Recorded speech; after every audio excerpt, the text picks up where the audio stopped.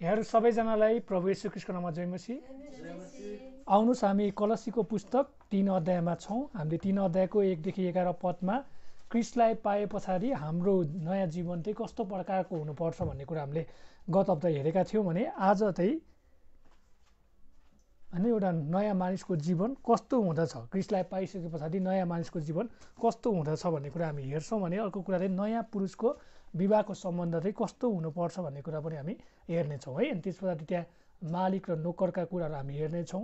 अनि त्यहाँनिर परमेश्वरले चाहिँ ढिलो ज्यानले चाहिँ सेवा गर भन्ने कुरा उहाँले गर्नुभएको कुराहरू हामी हेर्नेछौँ। म सँगसँगै तपाईँले कलसीको पुस्तक तिन अध्याय पल्टाउनुहोस्। हामी बाह्र पददेखि लिएर आज हामी यो तिन अध्याय पुरै सकाउनेछौँ है। तिन अध्यायको हामी बाह्र पददेखि लिएर पच्चिस पदसम्म आज हामी हेर्नेछौँ। यहाँ बाह्र पददेखि लिएर सत्र पदमा भन्दछ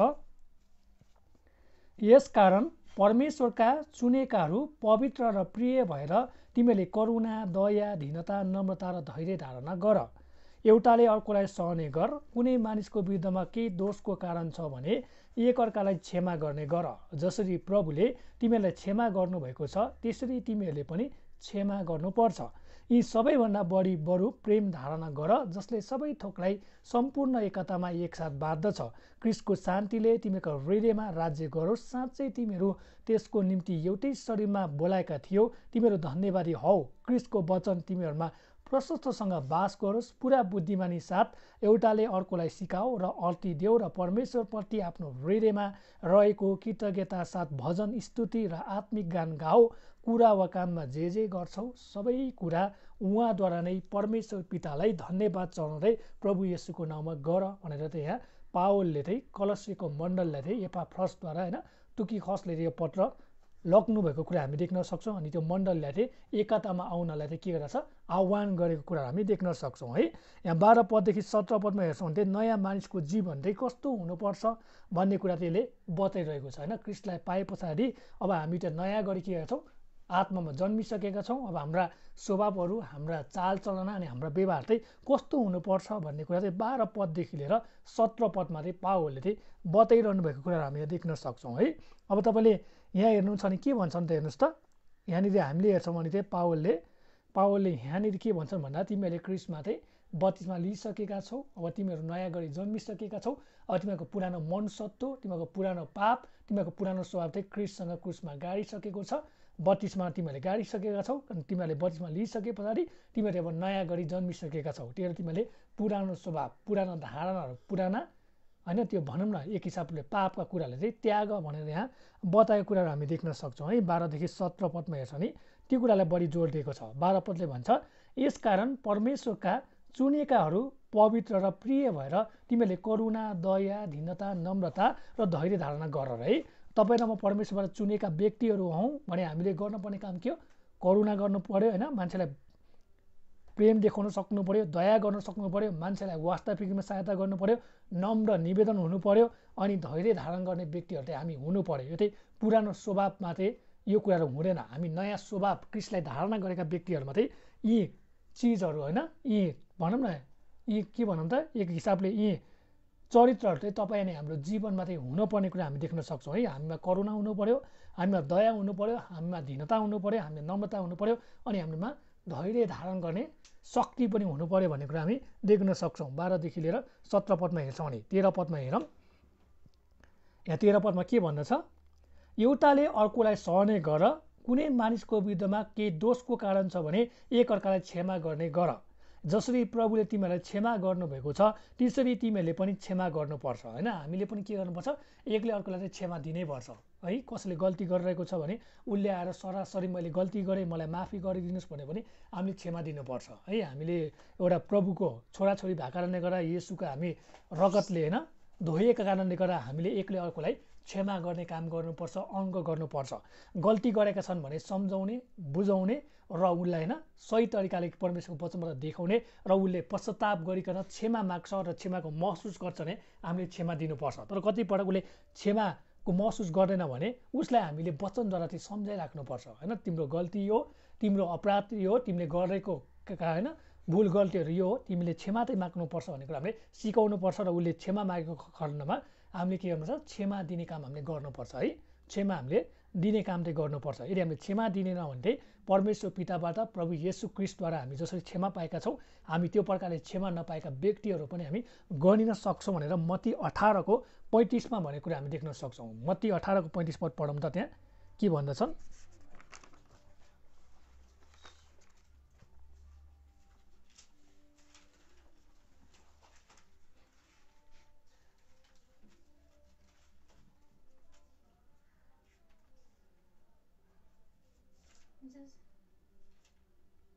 तिमीहरूले आफ्नो भाइलाई आफ्नो हृदयदेखि क्षमा गरेनौ भने स्वर्गमा हुनुहुने मेरा पिताले पनि तिमीहरूसँग त्यस्तै गर्नुहुनेछ। धन्यवाद है। हामीले बाह्र पदमा हेर्छौँ भने पावलले के सम्झना गरिरहेको छ? कलसीको मनलाई परमेश्वरले तिमीहरूलाई के गर्नुभयो? त्यो कुराको मात्रै याद गर भनेर भनिरहेका छन्। अनि तिमीहरू चाहिँ परमेश्वरका हो र परमेश्वरले चाहिँ तिमीहरूलाई यस उद्धार चाहिँ उद्धार गर्नुभएको छ भन्ने कुरा बाह्र पदमा भन्नुभएको छ। अनि त्यति मात्र होइन तिमीहरूमा चाहिँ के छ त? तिमीहरूमा चाहिँ अब क्रिसको गुणहरू छ। अनि क्रिसको गुण भएका व्यक्तिहरूले चाहिँ के गर्नु पऱ्यो अब क्रिस जस्तै हुनु पऱ्यो अनि हामी चाहिँ कस्तो प्रक्रियामा छौँ त हामी चाहिँ क्रिस जस्तै हुने प्रक्रियामा छौँ है। त्यही हामीमा के के हुनुपर्ने रहेछ हेर्नुहोस् त। क्रिसमा करुणा थियो क्रिसमा दया थियो क्रिसमा धिनता थियो क्रिसमा नम्रताको स्वभाव थियो क्रिसमा धैर्य धारण गर्ने शक्ति थियो। हामी पनि यस्ता गुणहरूले चाहिँ हामी चाहिँ के हुनुपर्छ? भरिपूर्ण हुनुपर्छ। यदि हामीमा यी गुणहरू छैन भने पवित्र आत्माले चाहिँ हामीले पुकारौँ पवित्र आत्माले चाहिँ हामी प्रार्थना गरौँ र भनौँ प्रभु हामीले पनि यी गुणहरू हाम्रो जीवनमा प्रवेश गर्नको निम्ति तपाईँले सहायता गर्नुहोस् भनेर हामीले प्रार्थना गर्न पर्ने कुरा हामी देख्न सक्छौँ है। अनि यसले भन्न खोजेको मतलब चाहिँ जसरी क्रिसमा यी गुणहरू थियो आज तपाईँहरू हामीमा पनि यी गुणहरू हुनपर्ने कुरा हामी देख्न सक्छौँ। अनि तेह्र पदले भन्न खोजेको मतलब चाहिँ तेह्र पदमा हेर्नुहोस् त एउटाले अर्कोलाई सहने गर। कुनै मानिसको विरुद्धमा केही दोषको कारण छ भने एक अर्काले के गर त? क्षमा गर्ने गर भन्छ। जसरी प्रभुले तिमीहरूलाई क्षमा गर्नुभएको छ त्यसरी तिमीहरूले पनि क्षमा गर्नुपर्छ। तेह्र पदले भन्न खोजेको मतलब चाहिँ के हो?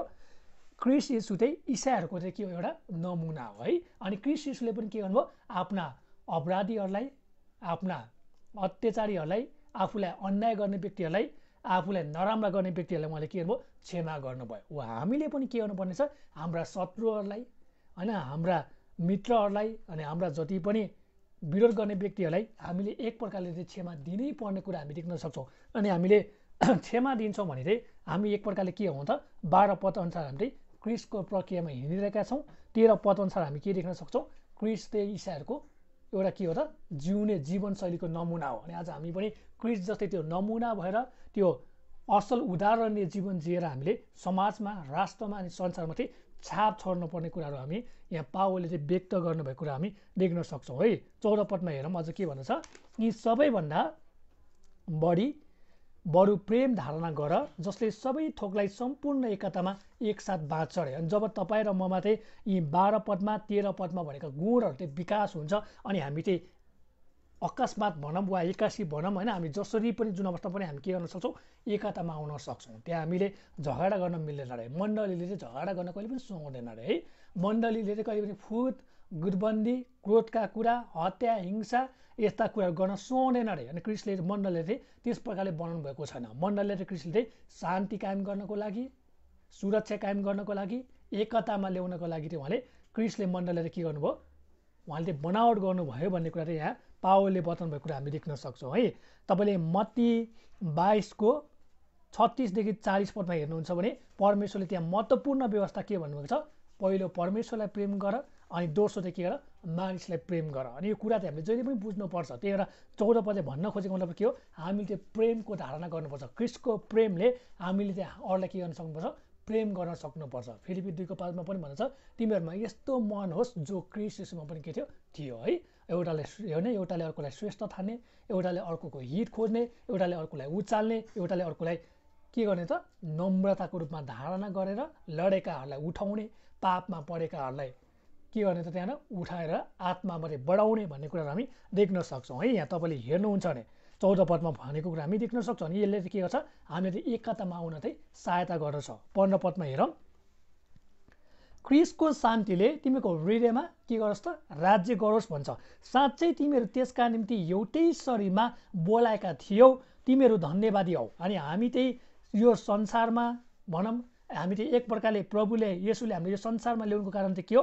हामी चाहिँ अरूको दिलमा अरूको होइन खुसीमा अर्को हृदयमा पनि राज्य गर्न सकौँ र हाम्रा हरेक गुण अनि हाम्रा हरेक चालचलना हाम्रा हरेक व्यवहार अनि हाम्रा हरेक स्वभावबाट चाहिँ मानिसहरू चाहिँ के हुन सकोस् त? क्रिसमा चाहिँ एकत्रित हुन सकोस् भनेर चाहिँ पावलले वचनको कुरा हामी देख्न सक्छौँ है? तपाईँले पन्ध्र पदमा हेर्नुहुन्छ भने यसलाई बाह्रदेखि चौध पदमा भन्छ। त्यही बाह्रदेखि चौध पदमा भएका गुणहरूलाई चाहिँ तपाईँले के गर्नुहोस् त? प्रयोग गर्नुहोस् भन्छ धारणा गर्नुहोस् भन्छ। अनि मण्डलीले चाहिँ झगडा गर्न सुहाउँदैन बार विवाद गर्न सुहाउँदैन अनि मण्डलीको काम के रहेछ? शान्ति प्रकट गर्ने काम हो शान्ति ल्याउने काम हो है? शान्तिलाई भङ्ग गराउने होइन गृह एउटा जारी गर्ने चाहिँ मण्डलीको काम होइन भनेर पावलले चाहिँ यहाँ कलसीका मण्डली लगायत आज हामी सबै सम्पूर्ण मण्डलीलाई चाहिँ हरेक मण्डलीलाई चाहिँ यो शिक्षा र उपदेश दिनुभएको कुराहरू हामी देख्न सक्छौँ है? अनि प्रभु अनि हामीले हेर्छौँ भने प्रभु यीशु पनि के गर्नुभयो त? यो संसारमा शान्ति ल्याउन आउनुभयो। अनि जब तपाईँ र म मिल्न सक्छौँ जब तपाईँ म आज्ञाकारी हुन सक्छौँ भने चाहिँ परमेश्वरले हरेक अवस्थामा पनि उहाँले के गर्न सक्नुहुन्छ? शान्ति ल्याउन सक्नुहुन्छ अरे। अनि शान्ति नआउनुको कारण चाहिँ के रहेछ? हामी अनाज्ञाकारी हुन्छौँ हामी झगडा गर्छौँ हामी तर्क वितर्क गर्छौँ हामी होइन मै ठुलो तैँ ठुलो। होइन त सानो म ठुलो भन्ने त्यस्ता नराम्रा गतिविधिहरू गर्छौँ न त्यस्तै कुरामा हामी बढी चाहना गर्छौँ भने चाहिँ शान्ति र एकता कहिले पनि आउँदैन तर हामी त्यो सबै कुरामा मिल्दै हामी त्यो सबै कुरालाई चाहिँ जुझ्दै अनि हामी त्यो क्रिसको त्यो शान्तिलाई क्रिसको एकतालाई चाहिँ हामीले होइन? एक हिसाबले आवास गरेर त्यसको चाहिँ हामी महसुस गरेर हामीले त्यो शान्तिको आवश्यकता छौँ भन्छ भन्छ भने चाहिँ क्रिस्टले हरेक अवस्थामा चाहिँ के गर्न सक्नुहुन्छ? हामी आज्ञाकारी भएको कारणले गर्दा उहाँले शान्ति पनि ल्याउन सक्नुहुनेछ अनि हामीमा भएका फुट गुटबन्दी हटाएर एकतामा पनि उहाँले जोड्न सक्नुहुनेछ भन्ने कुरा चाहिँ पन्ध्र पदले बताएको कुरा हामी देख्न सक्छौँ। त्यही हामी त्यहाँ हरेक समय चाहिँ के हुनु पऱ्यो हृदयदेखि चाहिँ हामी धन्यवादी हुनु पऱ्यो क्रिस्टले हाम्रो जीवनमा जे जति गर्नुभयो त्यसको लागि चाहिँ हामी कृतज्ञता भएर हामी चाहिँ होइन? प्रभुमा चाहिँ अगाडि बढ्नु पऱ्यो होइन? हामी एउटा गाउँछौँ होइन? कृतज्ञता भई सिर निहुराए भने होइन? हो त्यस्तो हामी चाहिँ त्यो व्यक्ति हुनु पऱ्यो भन्ने कुरा चाहिँ पन्ध्र पदले बताउँछ है। सोह्र पदमा हेरौँ।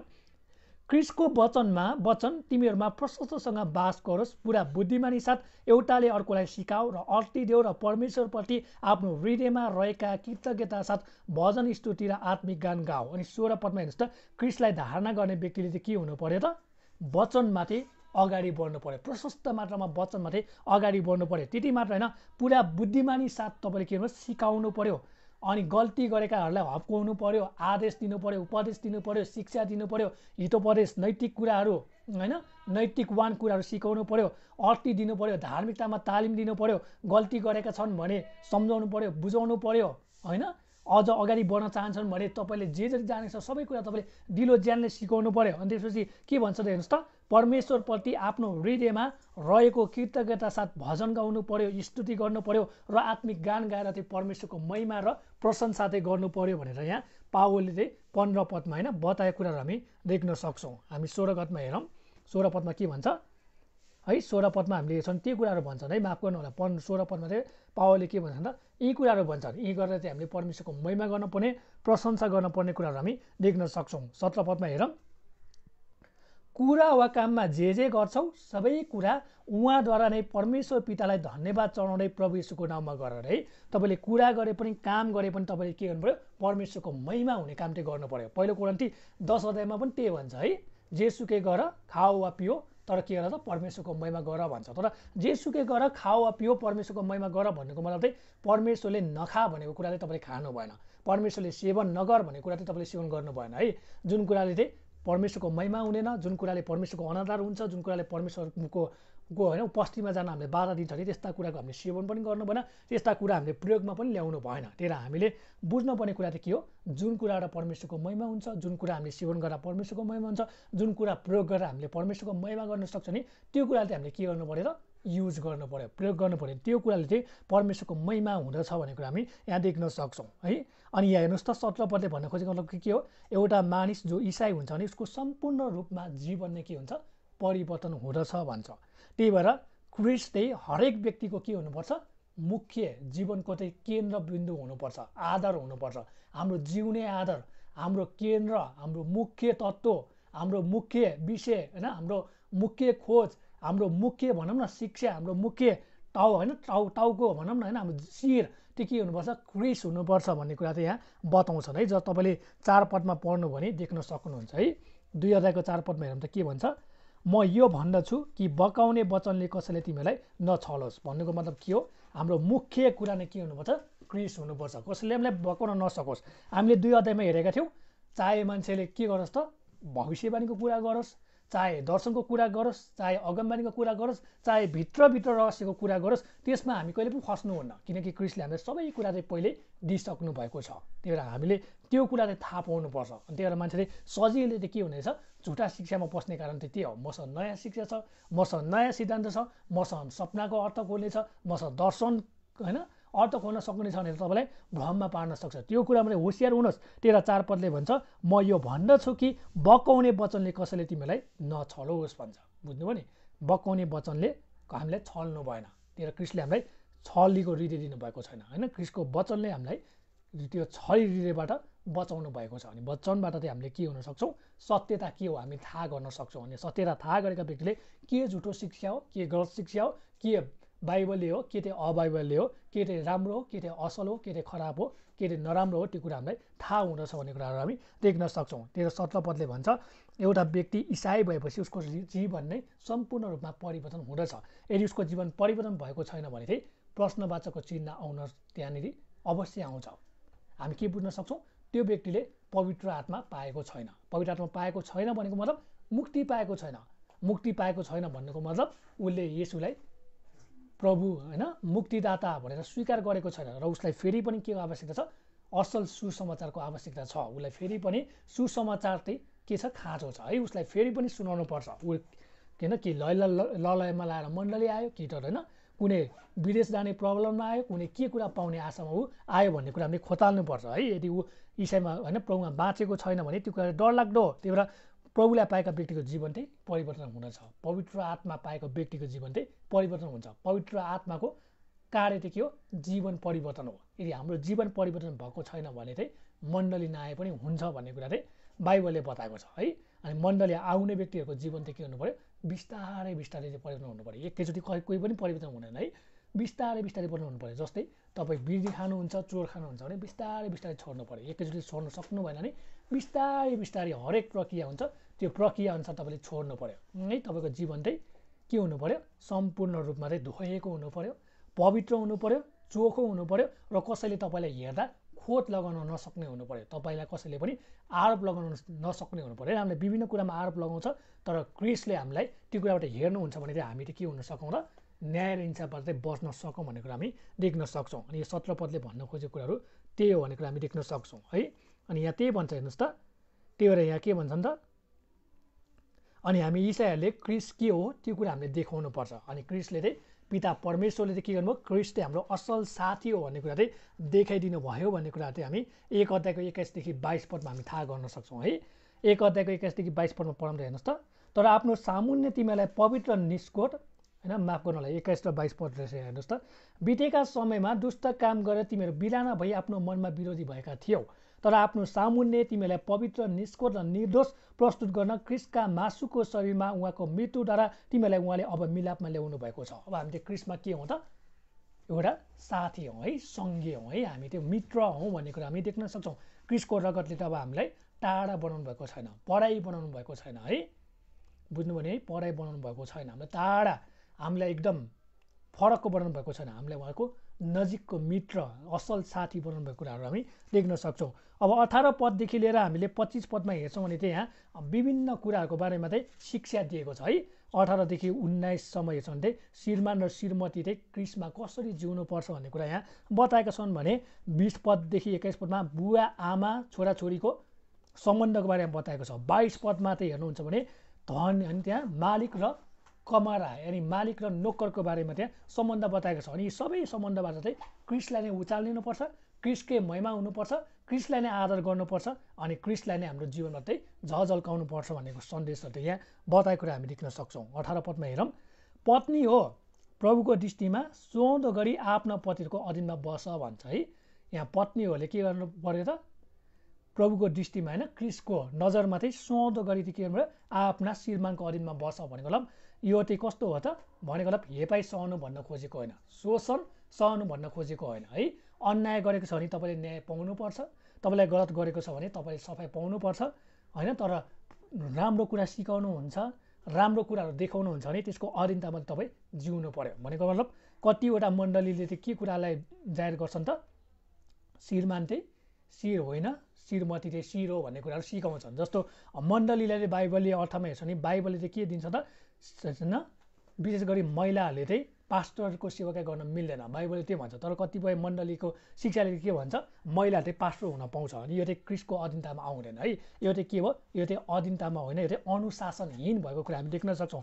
हामीले बाइबललाई हेर्छौँ भने चाहिँ परमेश्वरले चाहिँ पुरुषलाई चाहिँ पास्टरको अधिकार दिनुभएको छ। महिलाले चाहिँ होइन। महिलाले चाहिँ के गर्नु पऱ्यो आफ्नो श्रीमान पास्टर हो भने एउटा सेविकाको रूपमा सुहाउँदो जोडीको रूपमा के गर्नु पऱ्यो साथ दिनु पऱ्यो है?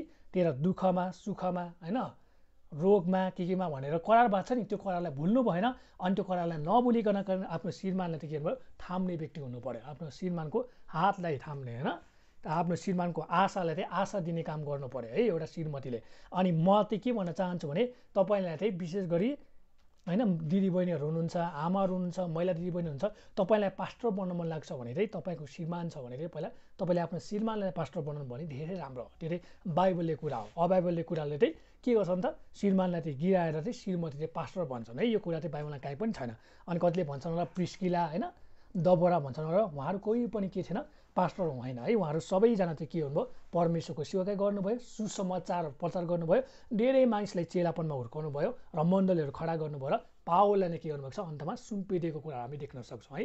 अनि त्यो चाहिँ महिला दिदीबहिनीहरूको चाहिँ के हो? सेवाकाईहरू हो भनेर हामी देख्न सक्छौँ। अनि यहाँ चाहिँ पत्नी हो प्रभुको दृष्टिमा सुहाउँदो गरी आफ्ना पतिको अधीनमा बस्छ भनेको मतलब सिमरानले सिमरानले लात हान्दा पनि सहेर बस्छ भन्न खोजेको होइन है। यो त्यो कुरा भन्न खोजेको होइन। परमेश्वरको वचन चाहिँ सही तरिकाले सिकाउँदा चाहिँ तपाईँहरू के भयो? अधीनमा बस्नु पऱ्यो होइन? जस्तै होइन हामी हेर्छौँ भने त्यहाँ तपाईँलाई प्रेम गर्ने कुराहरू छन् तपाईँलाई कृपा देखाउनु पर्ने कुरा छन् होइन? तपाईँलाई त्यहाँनिर भनौँ न विभिन्न कुराहरू छन् त्यो कुरामा चाहिँ अधीनमा बस्नु पऱ्यो है? त्यहाँ चाहिँ त्योभन्दा बढी चाहिँ गर्नु भएन भन्ने कुरा हामी देख्न सक्छौँ है? उन्नाइस पदमा पनि भन्छ पति हो आफ्ना पत्नीहरूलाई प्रेम गर र तिनीहरूप्रति कठोर नहो भन्छ है? हेर्नुहोस् त उन्नाइस पदमा यहाँ श्रीमतीलाई मात्रै भनेको छैन। श्रीमानलाई पनि भनेको छ श्रीमानले पनि के गर्नु पऱ्यो आफ्ना पत्नीलाई कृष्णले जस्तै गरी मण्डलले प्रेम गरे जस्तै प्रेम गर्नु पऱ्यो र कठोर व्यवहार चाहिँ गर्नु भएन है। प्रेम गर्नुपर्ने कुरामा प्रेम गर्नु पऱ्यो हप्काउनु पर्ने कुरामा हप्काउनु पऱ्यो सम्झाउनु पर्ने कुरामा सम्झाउनु पऱ्यो होइन? छडी लाउनु पऱ्यो पर्ने कुरामा छडी लाउनु पऱ्यो सिकाउनु पर्ने कुरामा सिकाउनु पऱ्यो है? अलि होइन? त्यो भने मानेन भने त के हुन्छ? त पनि लाउनु पऱ्यो है? कतिचोटि चाहिँ के हुन्छ त? श्रीमानले भनेको कुरा श्रीमतीले मान्दैन अनि श्रीमतीले अर्काको कुरा सुनेर चाहिँ होइन भनौँ न विभिन्न होइन त्यस्ता नचाहिने कामहरू होइन संसारमा हामीले हेर्छौँ नि त्यस्ता भइरहेको छ त्यस्ता चाहिँ होसियार हुनु पऱ्यो है। तर सबै कुरा मिलेका छन् भने चाहिँ यो सबै कुराबाट चाहिँ के हुनु पऱ्यो क्रिसको चाहिँ आदर गर्नुपर्छ। क्रिसलाई चाहिँ उचाल्नु पर्ने क्रिसलाई चाहिँ महिमा दिनुपर्ने कुरा हामी देख्न सक्छौँ। त्यति मात्र होइन। अनि यो चाहिँ के भन्छ एउटा क्रिसलाई पाएका श्रीमान र श्रीमतीको सम्बन्ध चाहिँ के हुनु पऱ्यो परमेश्वरको नजरमा चाहिँ के हुनु पऱ्यो त हेर्नुहोस् त एकदम दाग नभएको है? चाउरी नभएको कसैले खोट देखाउन नसक्ने कसैले पनि अनादर गर्न नसक्ने त्यस्ता सम्बन्धहरू तपाईँ र हामीमा हुनु पऱ्यो अनि मण्डलीमा पनि हामीले यही शिक्षाहरू चाहिँ दिनु पऱ्यो है? अनि कसैले हेरेर ओहो फलानुको होइन श्रीमान फलानको श्रीमती त कति राम्रो प्रभुमा कति धेरै हुर्केको सेवाकाई पनि कति राम्रो गरेको व्यवहार पनि कति राम्रो बोली वचन पनि कति राम्रो भन्ने कुरा चाहिँ हुनु पऱ्यो संसारले चाहिँ खोट नदेखाउने होइन? संसारले चाहिँ दोष नलाउने। है संसारले जहिले पनि खोट देखाउँछ दोष लगाउँछ तर कसैले पनि के गर्न नसकोस् त? खोट देखाउन नसकोस्। है आरोप लगाउन नसक्ने व्यक्तिहरू हामी हुनु पऱ्यो भन्छन्। उन्नाइस पदमा यहाँ अठार उन्नाइसले त्यही भन्छन्? बिस पदमा हेरौँ। छोराछोरी हो प्रत्येक कुरामा आफ्ना आमा बुवाको आज्ञा पालन गर किनकि यस कुराले प्रभुलाई प्रसन्न तुलाउँछ। यो बिस पदमा छोराछोरी हो प्रत्येक कुरामा आफ्ना आमा बुवाको आज्ञा पालन गर किनकि यस कुराले प्रभुलाई प्रसन्न तुलाउँछ भनेको अर्थै राम्रा असल कुरा गरे आज्ञा पालन गर भनेको है खराब कुराको भनेको होइन चोर खाऊ भन्दाखेरि राम्रो हो त्यो होइन होइन। जस्तै तपाईँ इसाई हुनुभयो तपाईँले इसाईसँग बिहे गर्न पनि होइन अनिजातिसँग बिहे गर भन्दा तपाईँले त्यसलाई आज्ञा पालन गर्नुहुन्न है। त्यो चाहिँ परमेश्वरको विरुद्धमा त के हो? तपाईँ गएको हो। यसले चाहिँ आज्ञा पालनलाई बत बताउने होइन। यसले चाहिँ अनज्ञाकारितालाई बताउँछ है? अनि हामी चाहिँ अनज्ञाकारिताका सन्तान होइनौँ हामी चाहिँ आज्ञाकारी क्रिसको सन्तान हो। त्यही हामी चाहिँ चाहिँ कस्तो गर्नु पऱ्यो वचनमा रहेर आदर हेरेर वचनले भनेअनुसार ठिक छ भने त्यो सही छ भने त्यस्ता कुराले चाहिँ हामी आज्ञा पालन गर्ने हो। तर वचनभन्दा बाहिरको कुरा छन् भने हामीले आज्ञा पालन गर्नु पर्दैन है? बुझ्नुभयो नि यो कुरा हामीले बुझ्नुपर्छ।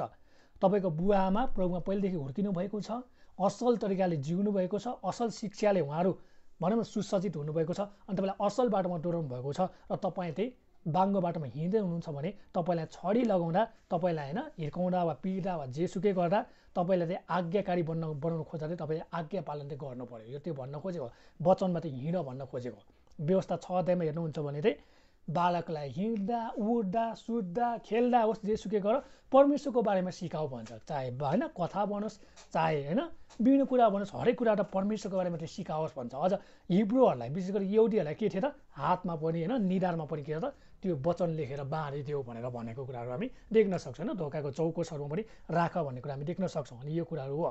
र असल कुरा सिकाउनुहुन्छ भने जहिले पनि बुबा आमाको आज्ञाबाट मान्नुपर्छ तर खराब कुरा सिकाउनु पर्छ सिकाउनुहुन्छ भने कहिले पनि नमान्नुहोस् है बाइबलले यो कुरा सिकाएको कुरा हामी देख्न सक्छौँ। तर आज्ञापालन गर भन्दै खराब कुराहरू चाहिँ तपाईँले के गर्नु सिक्नु भएन। है यो कुरामा होसियार हुनु पऱ्यो कतिजनाले प्रश्न आउला ओहो वचनले चाहिँ यो भनेको छ म त क्रिस्चियन हो मेरो बुवा आमाले चाहिँ अनक्रिस्चियनसँग बेगर भनेर भनेछ भनेर मक्ख पर्नु चाहिँ भएन तपाईँलाई होइन? तपाईँले चाहिँ त्यो परमेश्वर विरुद्धमा पाप हो। परमेश्वरले कुरा चाहिँ मन पराउनु है? परमेश्वरले यो कुरालाई चाहिँ के गर्नुहुन्न? उहाँले होइन? हल्का लिनु हुँदैन भन्ने कुरा हामी देख्न सक्छौँ। त्यही किनकि यस कुराले प्रभुलाई प्रसन्न तुलाउँछ भनेर यहाँ भन्दछन् है एक्काइस पदमा हेरौँ अब बुबा हो आफ्ना छोराछोरीलाई रिस नउठाओ न त तिनीहरू निराश हुनेछन् है। त्यही बुवा बुबा आमाहरूले पनि के गर्नुपर्ने रहेछ आफ्ना छोराछोरीलाई रिस उठाउनु भएन उनीहरू निराश हुनेछन् है। निराश भएपछि के हुन्छ त? विभिन्न कुरा त यहाँ सामना गर्नुपर्नेछ र उनीहरूले क्रिसबाट पनि टाढिन सक्छन् दियाबसको पासमा पढ्न सक्छन्। र भोलि नरकमा पऱ्यो भने यसको लेखा कसले लिनुपर्छ? आफ्नै बुवा आमाले पनि लिन पर्ने कुरा हामी देख्न सक्छौँ। किनकि बालबालिकाको के हुन्छ? बुद्धि त्यति आएको हुँदैन होइन? उनीहरूलाई के सही के गलत थाहा हुँदैन। त्यही कारणले गर्दा उनीहरू चाहिँ के हुन सक्छन् त्यहाँबाट? विभिन्न पाटोमा पढ्न सक्छन् विभिन्न मार्गहरू रोट्न सक्छन् र भोलि यसको जिम्मेवारी कसले वहन गर्छ त?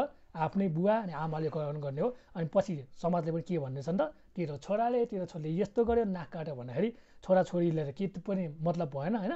यसै बिग्रियो उसै बिग्रियो। बुवा आमाको त के हुन्छन्? नाक चाहिँ काटिनेछन् है? होइन? इज्जत माटोमा मिल्नेछन् त्यही हामी होसियार हुनुपर्ने कुरा हामी देख्न सक्छौँ। त्यही हामीले चाहिँ आफ्ना छोराछोरीको लागि चाहिँ हामीले प्रार्थना गर्नुपर्ने होइन?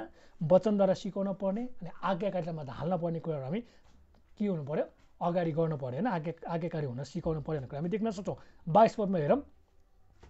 कमरा हो। प्रत्येक कुरामा यस संसारको आफ्ना मालिकहरूलाई आँखाको अगाडि खुसी तुलाउने मात्र होइन तर साँचो हृदयले प्रभुको डर राखेर तिनीहरूको अधीनमा बस्छ अब हामी प्रायः जति सबैले काम गर्छौँ हामी काम गर्ने व्यक्तिहरूले चाहिँ मालिक चाहिँ खुसी बनाउँदा चाहिँ अगाडि चाहिँ धेरै काम गर्ने मालिक गएपछि छल्ने काम गर्न सुहाउँदैन हामीले जहिले पनि बुझ्नुपर्छ कि हाम्रो संसारको मालिक भन्दा पनि स्वर्गको मालिक चाहिँ महान हुनुहुन्छ। अनि स्वर्गको मालिकले हामीलाई चाहिँ हेरिरहनु भएको छ। चाहे हामी लुकौँ चाहे हामी छुपौँ चाहे हामी काम गरौँ चाहे नगरौँ चाहे हामी छलौँ वा नछलौँ त्यो कुराले फरक पर्दैन। तर स्वर्गका परमेश्वरले हामीलाई देख्नु भएको छ। उहाँले हामीलाई बनावट गर्नुभएको छ। उहाँले हामीलाई भयानक र अद्भुत रीतिले बनाउनु भएको छ। उहाँले हामीलाई होइन विभिन्न तरिकाले बनाउनु भएको छ। उहाँलाई सबै कुरा थाहा छ। हाम्रो व्यवहार हाम्रो स्वभाव हाम्रो बानी व्यवहार हाम्रो होइन झुट हाम्रा सत्य असत्य अनि हामीले चोर्छौँ होइन? चोर्दैनौँ त्यो सबै कुरा परमेश्वरलाई थाहा छ। त्यही परमेश्वरको नजरमा हामी कोही पनि लुक्न सक्दैनौँ है? भजन सङ्ग्रह एक सय उन्चालिसको सातदेखि दस वर्षमा पनि हामी हेर्छौँ दाउदले त्यही भनेछ है? हामी काहीँ पनि परमेश्वरको पछि लुक्न सक्दैनौँ। त्यही हामीले संसारको मालिकलाई भने पनि स्वर्गको मालिकलाई चाहिँ खुसी बनाउने काम गरौँ अनि इनाम पनि हामीले पाउँछौँ। संसारको मालिकलाई खुसी बनाएर तपाईँले होइन धेरै कुरा पाए पनि स्वर्गमा पाएन भने कुरा धेरै दुःखको कुरा हो। त्यही हामीले के गर्नु? जहिले पनि स्वर्गबाट परमेश्वरले हेर्नु भएको छ। त्यही भएर होइन संसारको मालिकले हेरोस् वा नहेरोस् संसारको मालिक हुँदा पनि राम्रै गरौँ नहुँदा पनि राम्रै गरौँ है? अनि परमेश्वरले दिनुभएको हाम्रो जति पनि दायित्व छ हामीलाई जिम्मेवारी कर्तव्य दिनुभएको छ हामीलाई काम दिनुभएको छ त्यसबाट हामी इमान्दारीपूर्वक आज्ञाकारीपूर्वक विश्वासयोग्य साथ नम्र भएर धैर्य धारण गरेर होइन एकदम के गर्नु पऱ्यो हामीले? निलो ज्यानले चाहिँ परमेश्वरको सेवा गर्न पर्ने कुरा हामी देख्न सक्छौँ। त्यही यहाँ बाइस पदमा भन्छ कमरा हो प्रत्येक कुरामा यस संसारको आफ्ना मालिकहरूलाई आँखाको अगाडि खुसी तुलाउने मात्र होइन तर साँचो हृदयले के गर्नु पऱ्यो प्रभुको डर राखेर तिनीहरूको अधीनमा बस्छ भनेको छ। भनेको मतलब मालिकले कमरालाई मार्न खोज्यो भने पनि मर्न तयार हुनुहोस् भन्न खोजेको होइन है यो। कतिवटा कुराहरू के छ? अन्याय गरिरहेछ तपाईँले राम्रो गर्दैछ गर्दै हुनुहुन्छ तर तपाईँको मालिकले शोषण गर्छ भने अन्यायको विरुद्ध पनि लड्नुपर्छ। बाइबलले के भन्छ? अन्यायको विरुद्ध पनि आवाज उठाउँ भन्छ है। न्याय र तपाईँले संसारमा सठिक पाउनुहुन्न सही पाउनुहुन्न तर स्वर्गमा तपाईँले पाउनुहुन्छ भन्ने कुरा हामी देख्न सक्छौँ। तर तपाईँको मालिकले सही गरिरहेछ भने तपाईँले चाहिँ के गर्नु पऱ्यो अधीनतामा जिउनु पऱ्यो है तपाईँको मालिकले सही गरेका छैनन् भने पनि तपाईँ अधीनतामा जिउनुपर्छ तर तपाईँले अन्यायमा पर्नु भएको छ भने तपाईँले आफ्नो आवाज चाहिँ उठाउनुपर्छ है। तपाईँले चाहिँ के गर्नु पऱ्यो आवाज उठाउनु चाहिँ नछोड्नुहोस् भन्ने कुरा हामी देख्न सक्छौँ। तर तपाईँले ठग्ने चोर्ने ढाँट्ने त्यो मालिकलाई के थाहा भनेर तपाईँले त्यस्ता नचाहिने काम गर्नुहुन्छ भने त्यो चाहिँ राम्रो होइन। है तपाईँले सक्नुहुन्छ भने तपाईँले के भन्नुहोस् त? मालिक हुँदा पनि राम्रो गर्नुहोस् मालिकले स्याबास भन्नुहोस् मालिक नहुँदा पनि आउँदाखेरि पछि भेटाएपछि के हो? स्याबास भन्ने त्यस्ता कार्यहरू चाहिँ हामीले चाहिँ गर्नुपर्ने कुरा परमेश्वरले चाहिँ हामीलाई यहाँ सिकाउनु भएको छ। त्यस पदमा हेरौँ। तिमीहरू जे गर्छौ दिलो ज्यानले गर अरे हेर्नुहोस् त जे कार्य गर्छ हामीले के गर्नु पऱ्यो र हृदयदेखि गर्नु पऱ्यो अरे दिलो ज्यान हृदय दिएर गर्नु पऱ्यो अरे हृदयदेखि नै गर्नु पऱ्यो अरे है। अल्छी गर्नु भएन अरे मानिसको होइन तर के अरे प्रभुको सेवा गरे जस्तो काम गर्नु पऱ्यो। चाहे तपाईँले संसारको काम गरोस् चाहे तपाईँले मण्डलीको काम गरोस् तपाईँले काम गरेर के भयो? मण्डलीमा चाहिँ धेरै काम गर्ने अनि वाउ जस्तो गर्ने तर संसारमा चाहिँ तपाईँ नगर्ने अनि संसारमा तपाईँले छ्या जस्तो गर्नु भएन। तपाईँले मण्डलीमा पनि राम्रै गर्नु गर्ने हुनुहुन्छ भने संसारमा पनि तपाईँले कस्तो काम गर्नु पऱ्यो? वाउ नै गर्नु पऱ्यो है? एकदम राम्रो स्याबास पाउने काम तपाईँले गर्नु पऱ्यो भनेर भन्छन्। ढिलो ज्यान लाएर होइन? पुरै शरीर मन तन बल होइन? सब लाएर तपाईँ के गर्नु कार्य गर्नु पऱ्यो भन्छन् है? अनि चौबिस पदमा हेर्नुहोस् त यो जानेर कि तिमीहरू आफ्ना उत्तराधिकार इनामको रूपमा पाउनेछौ है? त्यही हामीले इनाम कहाँ पाउँछौ? स्वर्गमा पाउँछौ। संसारले इनाम दियोस् वा नदियोस् स्वर्गका परमेश्वरले स्वर्गका एकमात्र मालिकले हामीलाई के गर्नुहुन्छ? इनाम दिनुहुनेछ भन्ने कुरा हामी देख्न सक्छौँ।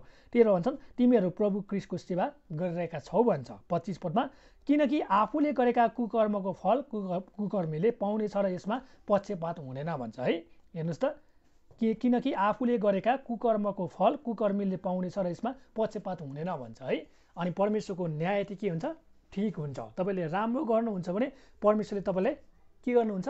दिनुपर्ने कति इनाम हो त्यति नै दिनुहुन्छ। तर तपाईँले परमेश्वरलाई पनि ढाँट्नु भएको छ छल्नु भएको छ भने परमेश्वरको न्याय गर्दा पनि तपाईँ के हुन्छ? इनामबाट मुकुटबाट तपाईँ त्यो विभिन्न होइन त्यो पुरस्कारबाट चाहिँ वञ्चित हुनुहुनेछ। त्यही यहाँ कुकर्मी भनेको चाहिँ खराब व्यक्तिहरू हुन्। खराब व्यक्तिले जे काम गर्छ उसले के पाउनेछ नि त? परिणाम खराब नै पाउनेछ है? पापको ज्याला मृत्यु हो भने त्यतिकै भनेको होइन है? तपाईँले पाप गर्नुहुन्छ भने त्यसले के छ?